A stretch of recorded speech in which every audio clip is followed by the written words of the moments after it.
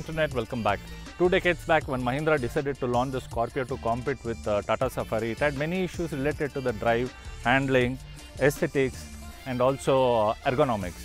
So it was uh, only in 2023 Mahindra decided to launch the Scorpio which is a completely evolved model. Uh, so they tagged in an N and thus the car is called as Scorpio N. Now that car was very boxy in design, in design previous version and over a period of 20 years it underwent couple of changes yet it didn't appeal uh, many SUV buyers. However, there was one small cult of uh, followers of Scorpio so which make this uh, the name Scorpio model really alive. So Mahindra decided to launch this car with totally a complete uh, new platform based on uh, Thar and it's a very evolved model. It's very revolutionary. So I purchased this car in the month of uh, April and done close to around 8,000 kilometers.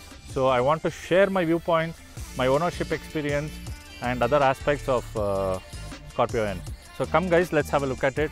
What the SUV is characterized by having a long bonnet, wider stance, taller stance too. So the Scorpio N Z6 has all the vital design elements. Look at the bonnet, it's very long and also has the beautifully sculpted uh, design on it which is very uh, prominent too. That is all the four lines, the crease lines which acts as a muscle lines also aids in aerodynamic is present on this. So this is my favorite design part again. Added to that is the headlamp design which is again very sleek and then on the lower part is the is the provision for uh, fixing the daytime running lights and the fog lamps. Unfortunately, the Z- Z6 doesn't come with the projector uh, beam technology for LEDs as well as uh, the daytime running lights and fog lamp is absent. In this SUV, what I really like is because there is a lot of silver accents instead of chrome. So if you look at the upper part of the bond of the you know the grill, it has got only the silver accents and a matte finish uh, louvers for the air intake. Now then at the lower part of the bumper again this is my favorite design part. Look at the design, the honeycomb uh, honeycomb grill and the black gun with the silver garnish in the front, uh, which is again Fox, uh, you know, skid plate or the front uh, protection. So that really exudes the quality of, uh, uh, you know, sportier look to this car. So that's also my favorite design. Overall, if you from if you look at the front design, the bonnet, the bumpers, the stout stands and all, this really gives it a very proper SUV kind of look. It's very stubby. It's like uh, strong. It has got a purpose, and also it reminds me of uh, Prado. A kind of uh, vibe is there. The side look of the car is beautifully sculpted because it has lot of meaningful crease lines and muscle lines. And also look at the plastic cladding. Compared to the previous version which had a bulky plastic cladding all over, it's all eliminated now. Instead of that, this car comes with a very sleekly designed plastic cladding which also goes onto the both the door sides with a with a silver accent there above the footboard. And then that goes like that and over the wheel arches gets into the rear part of it. That's the rear bumper or the exit point. So this is something which really gives it a very uh, you know proportionate look.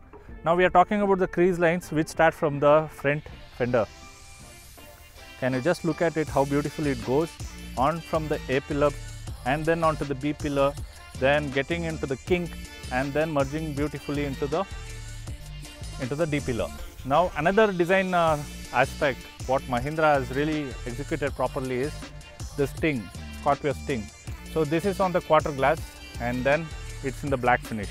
Again this starts from the A pillar and ends here on the quarter glass. Now this complements with the red color, the black. So I like the black finish rather than the chrome inserts. Big thumbs up for the design team for executing a properly well proportionate uh, design on the side profile of the car. This is something what I really like. The wheel arches are wide and big. So this is the characteristic of SUV. And then another thing is the company's stock wheels what it comes I think it's a 16 inch uh, steel plated disc with a with a cover over it. So I went for the alloy wheels which is 18 uh, inch design and then the tires I went for the 80 the salt terrain wheels because if you go for a more wider tire say around 65 aspect ratio it's going to foul on the on the insulation material on the wheel arch inside the wheel arch So this is something what uh, Mahindra, you know, they have missed it. Another thing is it's got a very odd PCD. So this PCD is 139.7. Unfortunately, you don't find many designs in the market. It's only that either you have to stick with the Mahindra provided 18E or else you have to really score the market to get the best design. So this is one uh, shortcoming I can say. Other than that, the footboard is standard in this and then the silver accent is standard. Then the silver finished roof rail, which is not just aesthetically good looking, it is also functional, is provided as standard so that you can uh, put on a rack and take care of all your traveling needs. To some people, the rear of the car looks appealing, to some they don't like it. Somewhere it has got the vibes of the Xylo. So personally, I just like the design of the tail lamps and also this chrome inserts in the bumper. It's something which I don't like. Another factor is uh, since there is a lot of bulge on the sides of the body, what happens is when the tires are puny and small, it really looks very odd. It doesn't look like a, a proper SUV. So only I went for a wider tires and uh, 18 inch wheels. So if you really go on for upgrading this, then it makes sense. It makes the car look very butchy at, from the back side, especially when the car is on the roll. So this is my viewpoint on the rear design.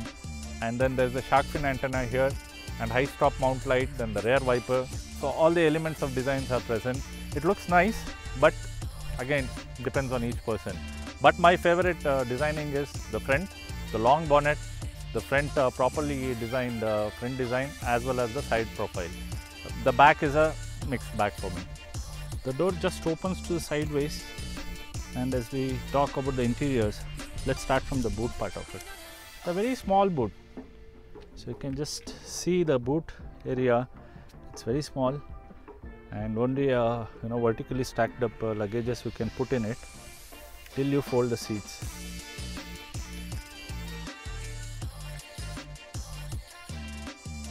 Now getting into the mid-row seat is climbing over the footboard and getting inside the car. So you just step in and you sit comfortably inside. There is ample amount of legroom. The thigh thigh support is excellent. The seat doesn't move fore and aft.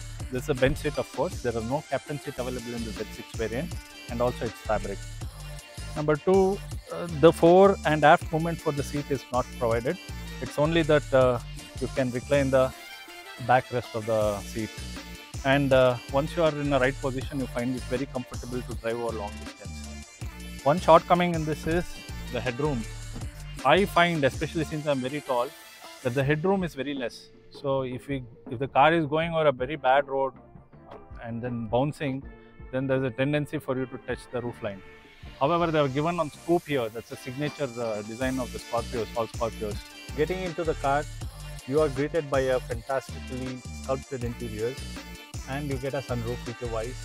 And there's an 18-inch infotainment system, and it has got an wireless auto, Android Auto, and the CarPlay, Apple CarPlay.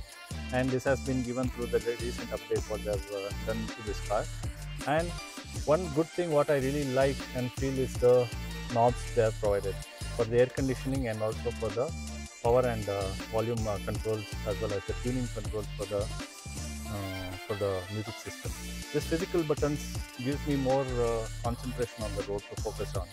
And then the layout of the dashboard, the fit and finish is really very good.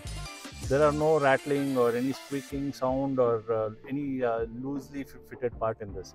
It's all well put, well put together and uh, the central console reminds me of the LC200 uh, dashboard uh, layout. So it really looks and reeks of quality. And the best part in this is it has got an analog dials the, for the instrument cluster. Along with that is an electronic MID which gives you a host of functions and you can uh, control all the features through the steering controls. There is also a cruise control standard in this variant and look at the finish and the fit of the stalks it reminds me of the BMW controls. So this is the quality. They have not done any kind of uh, cost cutting in the Scorpio and uh, they've also included the aero wipers which are quite expensive.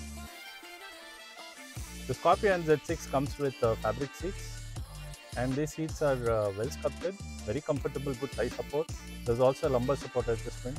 However, this Z6 lacks the electric adjustment. It's all manual. But then one fantastic thing is the comfort these seats offer. I never get tired even driving 600 kilometers on a stretch.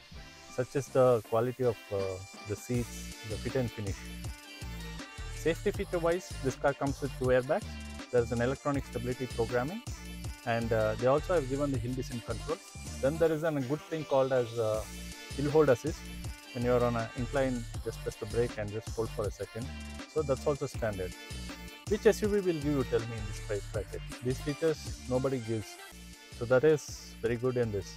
Over the new update, what they did onto the software, they've also included uh, the new new uh, navigation map from TomTom, I believe, or else Map My India, which can also mirror onto the MID. Along with that, you can also use uh, the Google Map when, when the phone gets connected wirelessly to the Android Auto. the, the volume of the glow box is very small. And then there are four uh, bottle holders and a good chunky hand grabbing handle for uh, closing the doors. However, this angle is you know a bit uh, weird. you need to put more effort to close the doors. The fit, the quality, the finish, it's all good. The grain finish on the dashboard, it really gives you a feeling of uh, leather because of the small grains they've used. Only when you touch, you feel that this is plastic. Even though this is hard plastic, its finish and uh, the and the and the kind of radiance it gives, it is of good quality. It gives a good quality feel.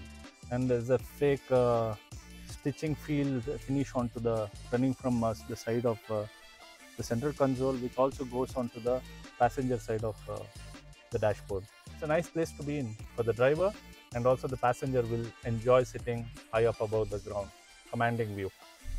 One missing component is automatic day night mirrors are not present in this, you have to manually adjust it. Now talking about the engine, the Z6 manual comes with a 178 horsepower engine. This is a 2.2 liter mHawk engine.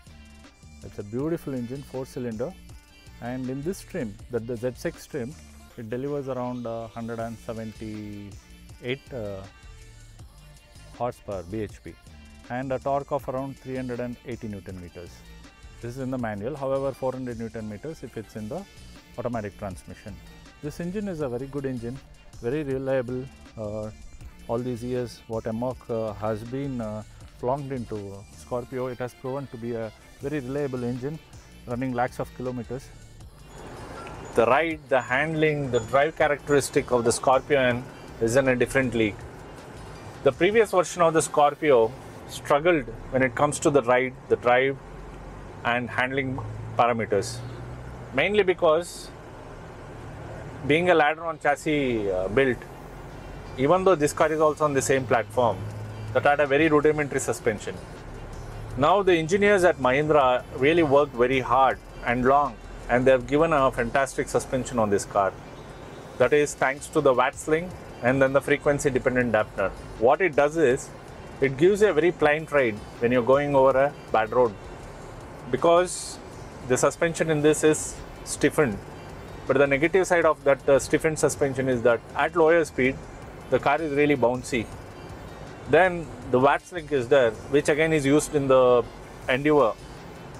In this suspension uh, setup, when you are driving the car on a corner and getting into an apex at a higher speed, you really find it very confident to do so because of that suspension uh, technology. So that is there in the Scorpio N. So all added, what it translates is that on the highway when you're doing very high speed, anything above 100, you feel like you're driving a very high-end car with a very well sorted out suspension. And going over a bad roads also, you find yourself very comfortable. You don't have to really uh, get tensed. Only when you're on a lower speed on a bad roads, then you find yourself tossed around inside the car. Now the engine in this, which is 2.2 liter mHawk, it delivers around 175 horsepower and 380 newton meters of torque. This, this power is delivered relatively at lower RPM, so which translates into a good drivability. One thing what it lacks is uh, uh, is the mid-range power. What you what you could have derived in a previous generation of Scorpio. That surge of power is not there in this. It's very linear. But the plus side is when you are driving the car, you find yourself doing anything above 100 in no time. So quick it is. So the engine is good. Refinement levels are in a different league again. It's so refined. You don't find any uh, engine noise coming in. Yes, there is a kind of boominess and the noise creeping in when you're at a higher RPM. Other than that, the insulation material used in the wheel arches, the engine bay, underpinnings of the car is so good, you don't find the road noise emanating because of the tire and uh, other mechanical elements. The gear ratios in the Scorpio N is very well specced up, but the negative side is the second gear. Please correct me if I'm wrong, and uh, I want to see your comments on it. When you're going over a hump, a big hump, or you are taking a drive on an inclination in a second gear, I'm talking only second gear, not the first, huh? There is a tendency of the car, car stalling because it, the engine is not delivering enough torque to the wheel, especially in that uh, second gear ratio. And in the first gear, it just creeps, there is no problem. And the gears are very well specced, the ratios are good. However, the shifting is the, in this car is not very slick, it, but it's much better than other uh, cars like say Fortuner and all. Like uh, the gear shifter is like a sedan, but not very slick. You need to give one second between shifting each gears. Fuel efficiency wise, Scorpio N delivers around uh, a good fuel efficiency of around 14 kilometers relatively. If you are doing around 90 kilometers per speed and not shifting the gears and all, quite often and on the highway. But when you are driving the car in a city condition, in the traffic of the city, you can uh, derive around uh, 9 kilometers per liter. So, taking a mean average of around uh, 9 to 10 kilometers is the fuel efficiency in the diesel engine. Now, other thing related to the drive, the performance and all is the modes of drive. At this pricing and and this kind of segment, Mahindra is really great. They have given a host of features like hill descent control. Then there is a host of safety features like two airbags in the Scorpio N, and then there is a um, then there is a stability programming. ESP is there, and uh, and also three drive modes are available. I find it to be uh, you know the to be useful because in the zip zap and uh, the other one is called the zoom. The zoom is the one which will uh, give you the most power, and uh, incremental difference is there between each modes. The best thing I liked in the Scorpio N is the steering, the feel, the tactile feel I get holding this beautifully sculpted steering. It has got a flat bottom, and then there is a hint of uh, silver finish and then there's a glossy uh, feel uh, there's a glossy finish too in this. And the horn is very nice. It's like a high-end hella horn.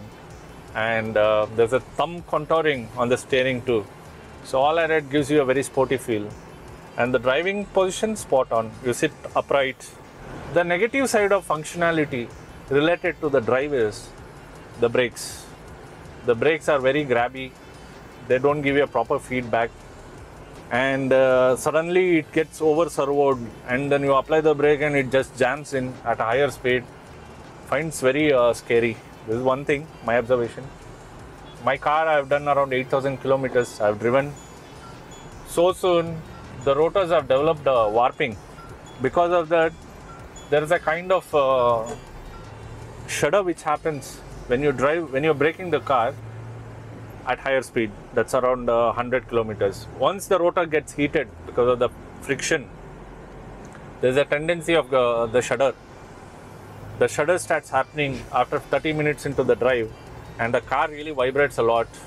That's very uh, unacceptable uh, thing.